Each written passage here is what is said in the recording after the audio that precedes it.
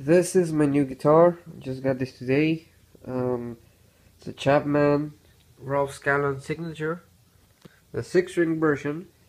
Uh, it's made out of ash wings and mahogany. I think this is ebony, and it's a it's a neck through.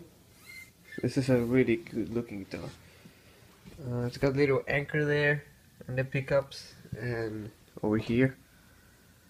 It's got locking tuners as well. So yeah, I'm just gonna show you guys uh, how it sounds. So yeah, enjoy.